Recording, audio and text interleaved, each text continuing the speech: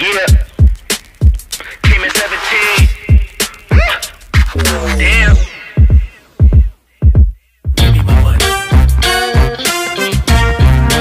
السلام عليكم ورحمة الله تعالى وبركاته معكم الأستاذ مراد إيتر في فيديو اليوم فيديو جديد اليوم غادي يكون فيديو خاص بالأسئلة اللي جاتني من بعد ما سجلت لكم فيديو ديال كيفاش نبريباري التعليم الأسئلة أو مختلف الأسئلة اللي كانت هي كيفاش نخدم على ال didactique آه، بالنسبة لل didactique كما قلنا فهو يعني آه، didactique بصفة عامة أو بصفة خاصة هو كيفية نقل المادة من المادة العالمة إلى المادة المدرسة وهو جزء مهم في سيرورة العملية التعليمية التعلمية بحيث يمثل الشق التطبيقي والجانب التطبيقي من السيرورة التعلمية أو من يعني من تنزيل المادة من المادة العالمة إلى المادة المدرسة.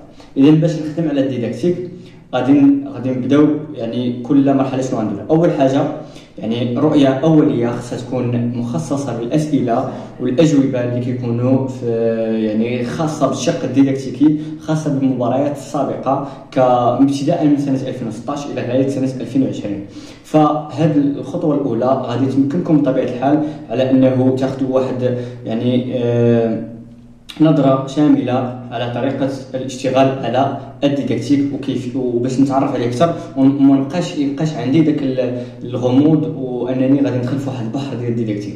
ثاني شيء ألا وهو تحميل آه، دلائل الأستاذ وهي كتب يعني معينة تقد يستخدمها الأستاذ بطبيعة الحال لتدبير وتخطيط للحصص الخاصه بالمواد مثلا اللغة العربية والنشاط العلمي والرياضيات واللغة الفرنسية بمستويات خاصة الرابع والخامس والسادس والثالث هذو من أهم المستويات اللي كتحطوا دائما وهذه الدلائل يجب أن تروا كيف فيها كيفيه تقديم الدروس ومراحل تلك الدروس المتبعة وتلك المراحل هي التي تسمى بطبيعة الحال جدادة سوف نتحدث عليها أيضا.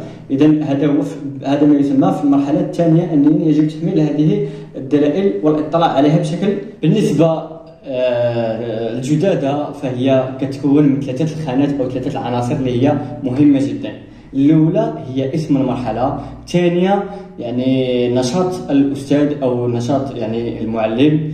الثالثة هو الأنشطة التي سوف يقوم بها المتعلم.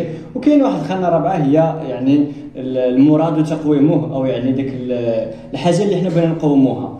أو يعني داك الهدف ديالنا من من هذيك المرحلة بطبيعه الحال شنو بغينا نديرو فيها؟ شنو التقويم بغينا نديرو فيها؟ بالنسبة لاسم المرحلة فجميع المواد لها مراحل أساسية مشتركة آه، كانطلاق وبناء وتقويم والدعم. هذه مراحل بشكل يعني بشكل عام هي غتلقاوها في جميع المواد. كيفما كانت المواد؟ يعني سواء كانت يعني بحال الرياضيات أو نشاط علمي أو أيضا العربية أو الفرنسية. فدائما لدينا مرحلة الانطلاق آه، يعني كيفاش كنطلقوا إلا بغيت نبني ذاك المفهوم ثم مرحلة البناء وبناء ذلك المفهوم ثم التقويم ثم الدعم في الآخر. أما بالنسبة لنشاط الأستاذ فهو ما يجب أن يقوم به الأستاذ في مرحلة معينة.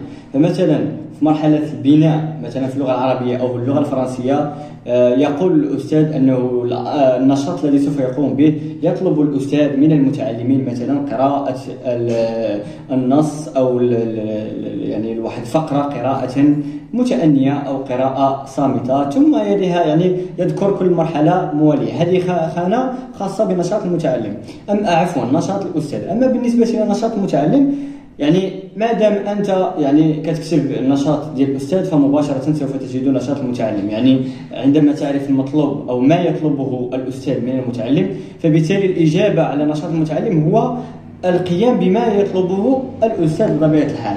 اذا نرجعوا الجدادة فديجا قلنا على أنه كتعرف الجدادة فهي تخطيط للدرس آه، مسبقا قبل طرحه في القسم. يعني هو تقريبا كما كنقولوا أنك تتخيل سيناريو الذي سوف يمر فيه ذلك الدرس أو سيرورة الدرس ويبقى لكل مادة آه، تخطيط يختلف عن مادة أخرى ولكن كما قلت مسبقا فإن المراحل الأساسية تبقى مشتركة بين جميع هذه المواد. فقلنا المراحل هي الانطلاق ثم البناء ثم التقويم ثم الدعم لكن كل مادة لها طرح مختلف في كل مرحلة. مثلا نأخذ على سبيل المثال النشاط العلمي. نجد في مرحلة بناء المفهوم خمس مراحل. وتسمى بنهج التقصي سوف تتعرفون عليها عند المراجعة أو عند التكوين أيضا. مثلا آه، المرحلة الأولى هي تملك وصياغة السؤال تقصي أو المشكلة.